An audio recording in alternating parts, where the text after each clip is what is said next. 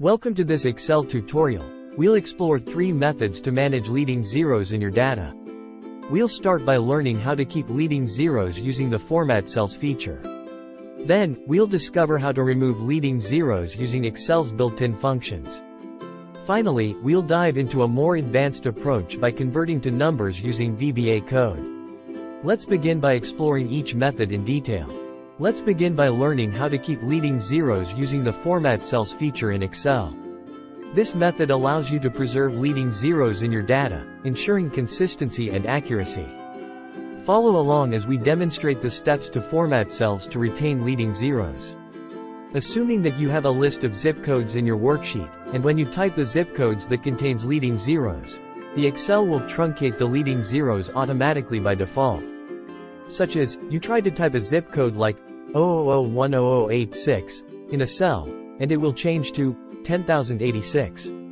If you want to keep the leading zeros as you type in a cell, you need to change the cell format to text before you type the zip code number.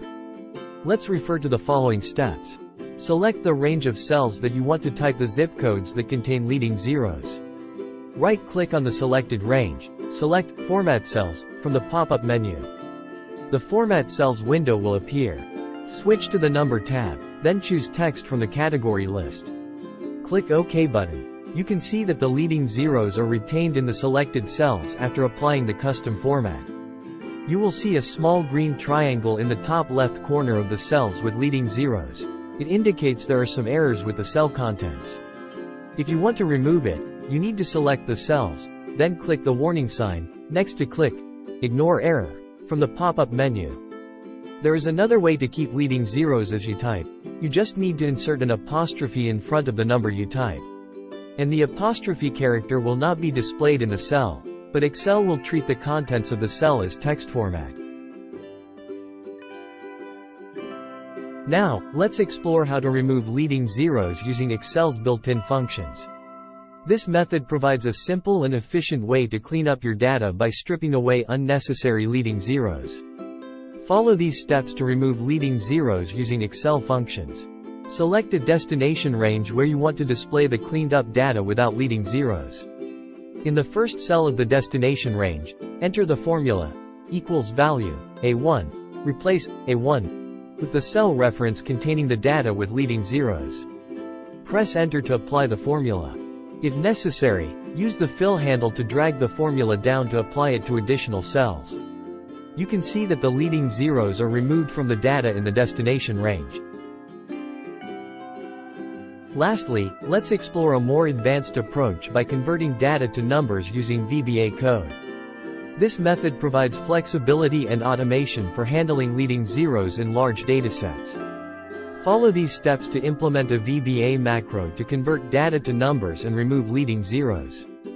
Press Alt plus F11 to open the Visual Basic for Applications editor. In the VBA editor window, right-click on any item in the Project Explorer pane. Select Insert, and then choose Module to insert a new module into the project. Copy the provided VBA code for converting data to numbers and removing leading zeros. Paste the code into the newly created module.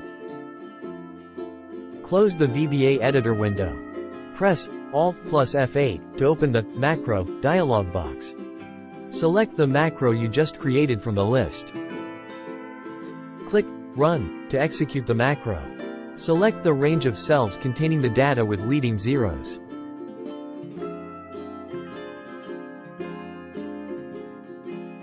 Click OK button. You will see that all leading zeros have been removed in the selected range.